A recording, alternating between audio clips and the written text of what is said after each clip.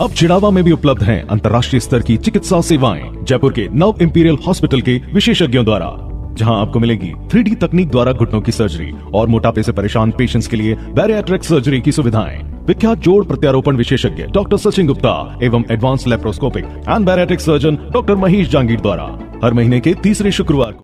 आप देख रहे हैं शिवनगर टाइम्स मैं पंकज, कैमरामैन प्रकाश के साथ। दोस्तों सबसे पहले तो कमेंट बॉक्स में ये ज़रूर बताइए कि फ़ोटो जो है, कैसी आ रही है? वीडियो कैसा आ रहा है?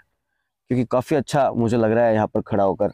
और आप फ़सल देख रहे हैं, बिल्कुल हरी फ़सल है और फूल भी लगे हुए हैं, आप देख ही रहे हैं वीडियो के साथ में। तो मुझे लगता है कि फ़ोटो तो कम से कम अच्छी आ रही होगी आज तो। हमेशा नहीं आती, लेकिन आज तो आ ही रही होगी। बिल्कुल, ये जो वो फ़सल है, इसको किसान अपने बच्चों की तरह इसे पालता, पोसता है, बड़ी करता है। आज वही किसान जो है, इन बच्चों की वजह से या यूँ कहेंगे कि ऊपर वाले भगवान की वजह से या यूँ कहेंगे कि जो बागेश्वर धाम सरकार की जय बोल रहे हैं, उन भगवान की वजह से वो भी रूस चुके हैं। बिल्कुल हनुमान जी है, वो भी इन किसानों से रूठ चुके हैं। और सरकार का तो कहना ही क्या? सरकार तो इन्हें केवल आश्वासन देती है, वोट जब चाहिए होते हैं। अब आ जाएगी बिल्कुल इनके पास दो चार महीनों बाद में। मैं बता देता हूँ कि इन्हीं के पास हाथ जोड़ते हुए नेता आएँगे। कि हमें वोट दीजिए, हमें जिताइए, हम ऐसे करेंगे, वैसे करेंगे, ये कर देंगे, वो कर देंगे। लेकिन आज इनकी सुनने वाला कोई नहीं है। बिल्कुल, कभी चिड़ावा उपखंड कार्यालय तो कभी पिला झुंझुनू कलेक्टर के पास, कभी कहा तो कभी कहा, बेचारे किसान लोग भाई है, हमारे ही बड़े बुज़ुर्ग है, वो पहुँच रहे हैं अपनी मांग लेकर। मुआवजा मिले, कम से कम सही मिले, और समय पर मिले तो इनके लिए काफ़ी अच्छा होगा। बिल्कुल, मैं और अपना जो चैनल है, उसकी मांग कहाँ तक जाती है, ये तो मुझे नहीं पता। उसकी आवाज़ कहाँ तक जाती है, ये तो मुझे नहीं पता। लेकिन इस वक्त अपन लोग उपराष्ट्रपति जगदीप धनखड़ के पैतृक गाँव की ठाणा के अंदर मौजूद है। सभी जगह यही हालात है। मैं किसी एक व्यक्ति को दोस्त नहीं दे रहा, किसी एक पर्सन को दोस्त नहीं दे रहा। सभी के लिए ये आज जो है, एक बड़ा ही चिंतनीय विषय है। अगर इनकी कोई नहीं सुनेगा तो हमारे अन्नदाताओं की कोई नहीं सुनेगा तो आप लोग, हम लोग खाएँगे क्या फिर? इनका मान सम्मान जितना हमें करना चाहिए, उतना ही फौजी भाइयों करते हैं हम लोग, उतना ही इनका भी करना चाहिए। आज एक फौजी भाई कहीं शहीद होता है, उनकी सम्मान यात्रा निकलती है तो हज़ारों की संख्या में हम वहाँ पहुँच जाते हैं सम्मान यात्रा में शामिल होने के लिए, उन्हें सैल्यूट करने के लिए। अन्नदाताओं की कौन सुनेगा, कैसे सुनोगे आप लोग? बिल्कुल वीडियो को ज़्यादा से ज़्यादा शेयर कीजिएगा और वीडियो के अंत तक बने रहिएगा। दोस्तों, समस्या तो गंभीर है ही। मैं आपको बता देता हूँ कि कल और चढ़ावा ही क्या पूरे झुंझुनू ज़िले के अंदर आसपास के क्षेत्र के अंदर सभी किसान परेशान हैं। इस पाले की वजह से और पाले ने जो फ़सलों को नुकसान दिया है, वो यूँ कहूँगा कि हंड्रेड परसेंट ही नुकसान है। बिल्कुल आप लोग देख ही रहे कि इस वक्त अपन लोग, ये सुबह लगभग छः बजे का समय है। आप बिल्कुल ऐसा ही समझ रहे हो क्योंकि अभी ऐसा मौसम है तो ये समझिए कि जब लोग रात को खेतों में पानी देते हैं, तब कैसा क्या मौसम रहता होगा। अब बिल्कुल ठंड भी रहती है और गर्मी में भी अपना काम करते हैं रात को गर्मी होती है तो भी वही काम करते हैं सर्दी होती है तो भी वही काम करते हैं अपन लोग अपने कंबल के अंदर सोए रहते हैं। बाबू फ़सल तो अच्छी खड़ी है और फूल भी अच्छे आ रहे हैं। हाँ। तो फ़सल खराब क्या है इसमें? इसमें सर्दी है सर्दी। हम्म। इसमें सर्दी मार दी सब सफ़ा कर दिया। हम्म, हम्म। कुछ दाना कोई भी दाना नहीं है सिस्टम के अंदर।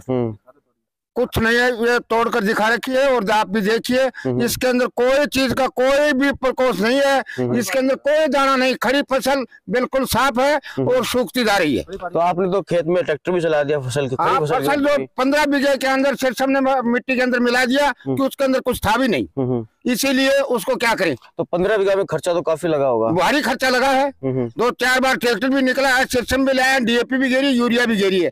लेकिन कोई पहले यूरिया के लिए डीएपी की लाइन में लगे हो फिर वो फ़सल हाँ, खराब भी हो गई। पहले लाइन में लगी हज़ार रुपए की थैली आई है हम्म। और उसके अंदर कुछ भी नहीं है उसे पंद्रह बीघा में मिट्टी मिला दिया हम्म, हम्म।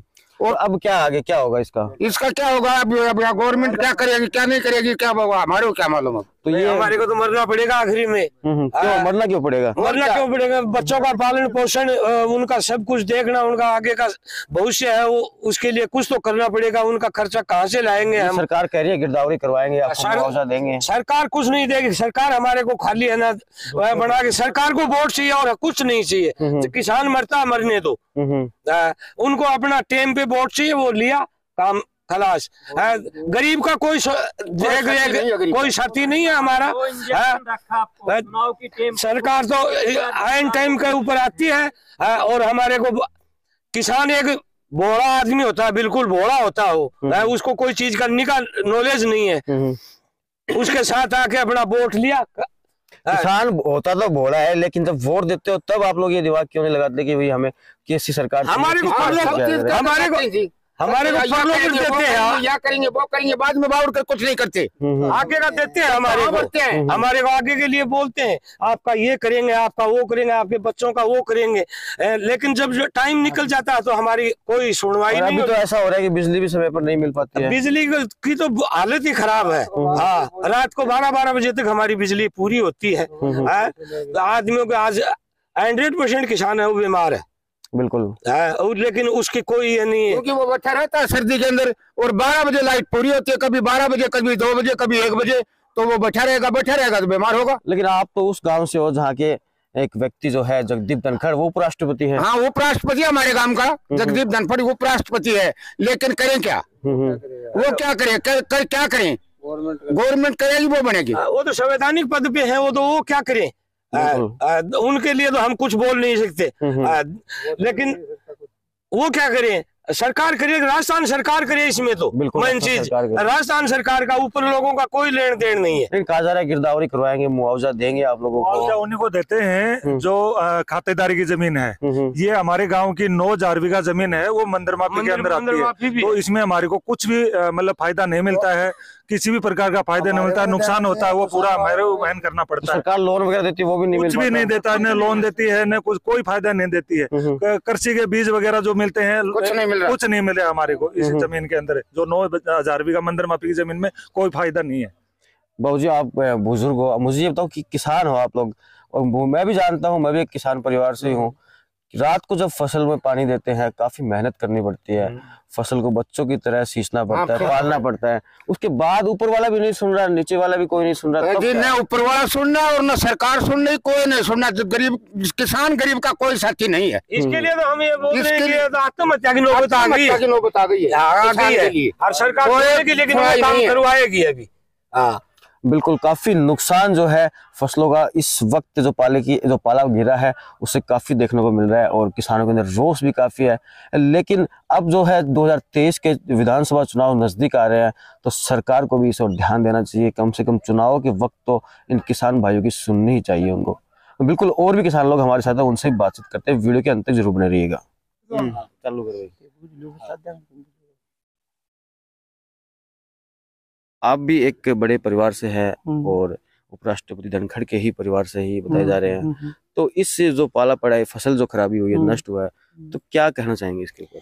फ़सल में बहुत नुकसान हुआ अब की बार। माउट भी नहीं हुई। हम्म, हम्म, दिसंबर जनवरी में माउट हो जाती है इससे फ़र्क रहता है। हम्म, अब की बार अस्सी परसेंट से ज़्यादा नुकसान है सरसों में तो। हम्म, हम्म, जो में भी पचास से साठ तक नुकसान है। हम्म, हम्म। किसान की बहुत कमज़ोर हालत हो गई है। तो इसका कोई सरकार वो जो बीमा बीमा बनाती है फ़सल का वो देना चाहिए। मुआवजा तो दोस्तों सरसों की फ़सल तो है उसमें तो नुकसान है ही है। और इसके साथ ही जो इसके बाजू में जो फ़सल जो आप लोग देख रहे हैं एक बड़ी अच्छी पिक्चर आ रही होगी बड़ा अच्छा वीडियो भी आ रहा होगा। तो मैं कैमरा मैन से कहूँगा प्रकाश धीरे धीरे आगे आते रहिए आप। और ये जो जो की फ़सल है ये भी पूरी तरह से नष्ट हो चुकी है। और बिल्कुल किसान भाई भी हमारे साथ यहाँ पर मौजूद है उनसे भी बातचीत करेंगे। हमारे अन्नदाता है वो हमारे साथ यहाँ पर मौजूद है। चलिए उनसे भी बातचीत करते हैं। ये देखो नहीं लियो कुछ ही को नहीं है। बिल्कुल ये सरसों की फ़सल ही नहीं ये जो की जो फ़सल है वो भी जो है नहीं ना। वो भी खत्म हो चुकी है। जो की बाल बिल्कुल खत्म है। हम्म, हम्म, जो और गेहूँ जो जो बाल निकाल ली वो बिल्कुल खत्म है। कुछ नहीं है इनके अंदर। अंदर की बाल है उसके अंदर पोटी के अंदर वो भी मामला खत्म है देखो। पोटी हो या बाल हो सब चीज़ खत्म है किसान बिल्कुल खत्म है और किसान के लिए कोई कुछ नहीं कर सकता। अब जब विधानसभा के चुनाव आने वाले हैं कुछ ही महीनों बाद में तब नेता लोग आपके पास आएँगे वोट मांगने के लिए। वोट मांगने के लिए आएँगे हम यो कर देंगे हम वो कर देंगे हम आपको मुआवजा दिला देंगे हम आपको ऐसे करेंगे लेकिन उनके पास कुछ नहीं है। कुछ राजस्थान के गवर्नमेंट जो जो राजस्थान गवर्नमेंट है उसके पास भी कुछ नहीं है। धोखे के सिवा इनके पास कुछ नहीं है धोखा है इनके धोखा देना है। किसान को धोखा दो उल्लू बनाओ और अपना काम सिद्ध करो। तो बिल्कुल जो वाली कहावत है ना वो यहाँ आ रही है हम्म। कि फूट डालो राज करो वो कर रहे हैं। हम्म, हम्म, बस गरीब की सुनाई नहीं है। गरीब की सुनाई नहीं है। इनको तो शोषण करना है, गरीब को गरीब रखना है कि वो आगे नहीं आ जाए। बिल्कुल। अभी क्या करेगा इसमें ऐसी में? उन बच्चों का क्या हाल होगा? जिनके नहीं खा सकते। जिनके पीछे दस दस बच्चे है, वो क्या खाएँगे? उनकी है कोई बिल्कुल परिवार का भरण पोषण है वो किस तरह से अब होगा इनका ये भी समझ से बाहर है। तो सरकार को इस पर ध्यान देना चाहिए मैं कहूँगा झुंझुनू जिला कलेक्टर है वो भी किसान परिवार से है उनको तो कम से कम ये सोचना चाहिए कि इनकी जल्द से जल्द उचित गिरदावरी जो है वो करवाई जाए हंड्रेड परसेंट फ़सल नुकसान हो चुका है है इनका जल्द से जल्द इनको मुआवजा दिलाने की कोशिश तो कम से कम वो भी करे। तो अभी के लिए इतना ही देखते रहिए शिवनगर टाइम्स जुड़े रहिए शिवनगर टाइम्स के साथ।